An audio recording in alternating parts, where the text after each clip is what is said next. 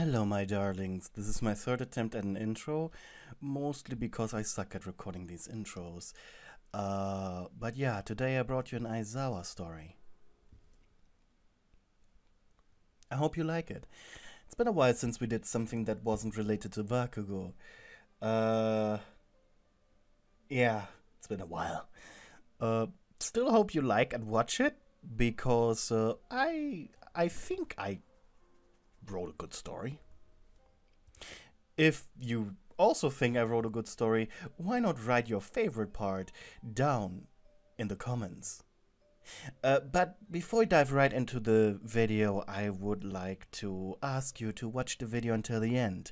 Like or dislike, or as I already said, comment something down below. This is the best way how you can help me more indirectly with little effort. If you want to put in a little more effort, you can also share the video around. Put it on your social media, send it to your weeaboo friends if you have any, etc. Lastly, if you want to support me more directly, you can also support me on Patreon and on my merch store. Both links are down in the description.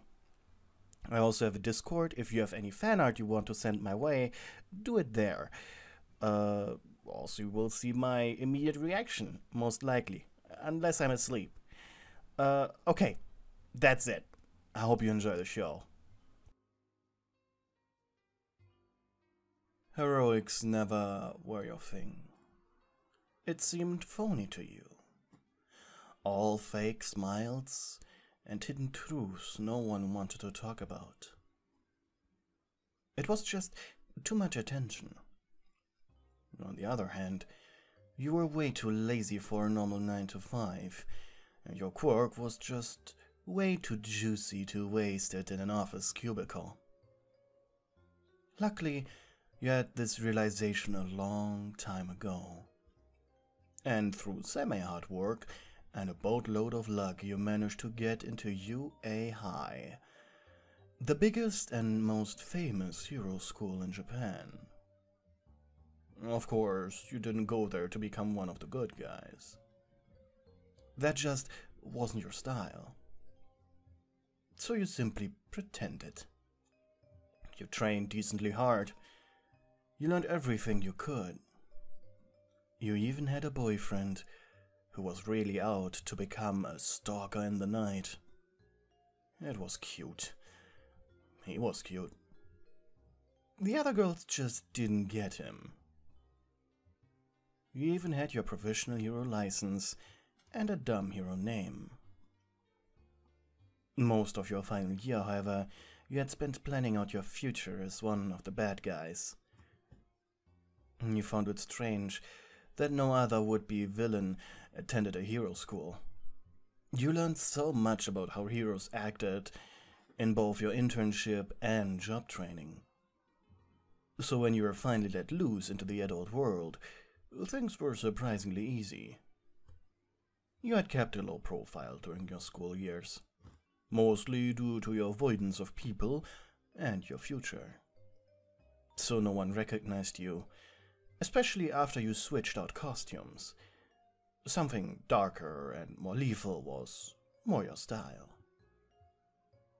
You secretly built up a few connections, mostly smuggling having struck a deal with a guy from America, bringing drugs from somewhere.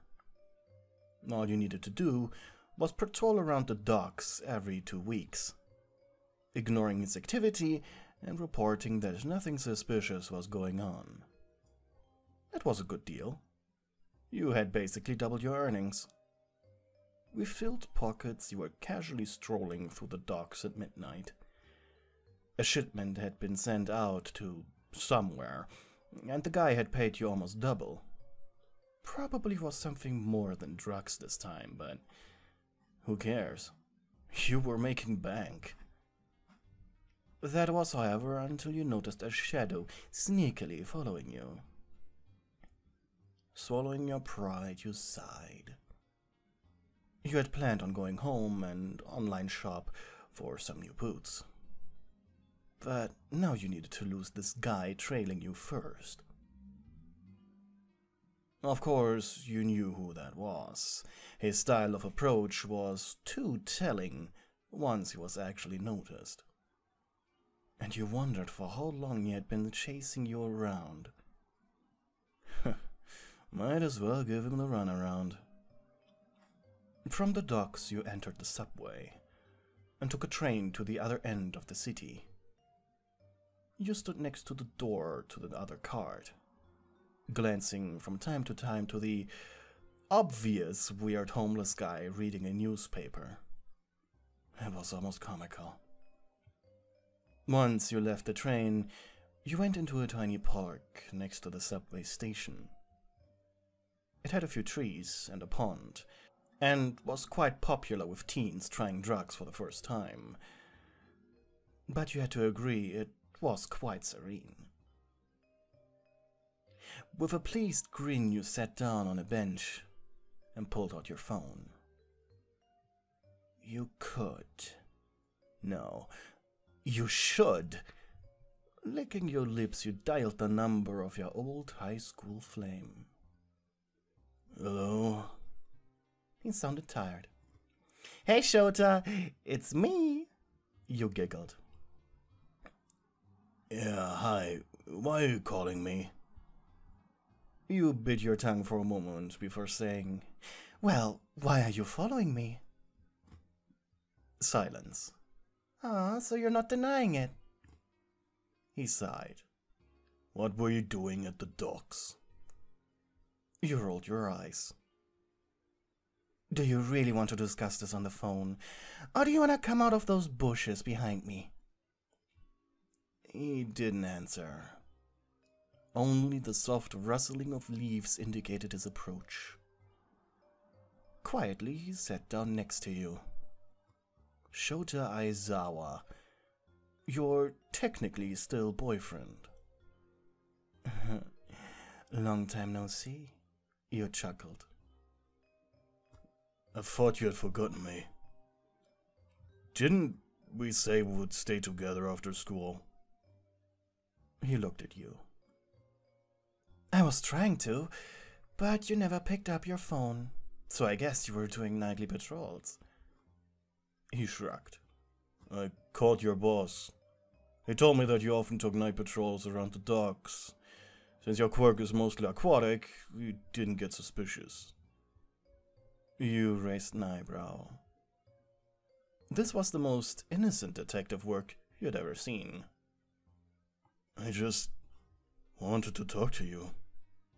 And then I see you take money from that shady guy before strolling off. I got suspicious and began taking dog patrols myself at my agency.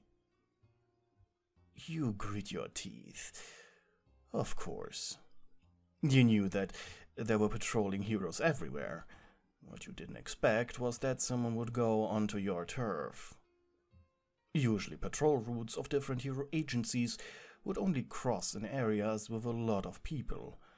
It was rare more than three heroes patrolled the docks to begin with. You had made a mistake. You didn't expect someone to be already suspicious of you. Just. Why did it have to be your boyfriend? What were you doing there? He asked again. Trying to hide your nervousness, your mind began to race. He had about five seconds to reply, or else he would not buy it. With a playful, amused sigh, you said, ah, That shady guy was an American businessman. I have used my connections with the people working here to give his shipments a better deal. Nothing illegal. You paused. Your heart was killing you. Granted, it is a bit shady, but hey, I'm just trying to survive. Aizawa looked away, thinking. So, he pays you to do what? He asked after a while, and you sighed. Uh, the deal is basically this I get some money on the side, and then his shipments just happen to have a slightly higher priority. It's a difference of one day, uh, 24 hours. where his wares would simply collect dust in a shipyard before being shipped off. You had no idea what you were talking about. You wanted to slap yourself. You should have known better. At least, do some research as to how ship deliveries worked. But then, I leaned back, his hands behind his head. He sighed in relief. I want to be honest. If any other person would have told me this story, I wouldn't believe it. Your eyes widened without you really wanting to. But, please, try not to look so suspicious, okay? I agree it's shady, but yeah, it's not illegal. He smiled. He really wanted to reprimand you more, but his feelings for you were in the way. He found you foolish, but he believed your lie, just enough to not raise a stink. He loved you. He really did. And finally, you allowed yourself to calm down a little. We haven't talked in weeks, haven't we? You said with a sad tone in your voice, and he nodded. What's happening with you? You asked him with a grin. I accepted a job offer at UA. You blinked. Shota, we. You just left it. He chuckled. During the day, I will teach there. During the night, I will do hero work. It's exactly what I wanted. You gave a hearty laugh. yeah, the stalker in the night, the disciplined yet somehow still loving teacher during the day. Am I right? He nervously combed through his hair. And with a smile, you added, Seems like we're both living our dreams, huh? He looked at you. Uh, not yet, he said. I've been wondering about you for a few days now. I missed you. And he fidgeted. I was wondering if you would like to go on another date with me. We haven't really talked since we left school, and. Well, as I said, I never stopped thinking about you. That was so sweet of him. You really shouldn't. But in reality, you still loved him too. Eventually, he would get behind your lie. You should tell him no. That you moved on. I would love to, you said. Damn it.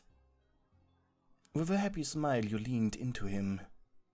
His long, slender arms snaked around you, holding you tight. I missed you, he mumbled, and you quickly raised your head to kiss him on the mouth. Maybe if you tried a little harder, you would not get behind this. Or maybe if you played your cards just right, he would even be okay with it. For now, however, you just wanted to enjoy the night with him.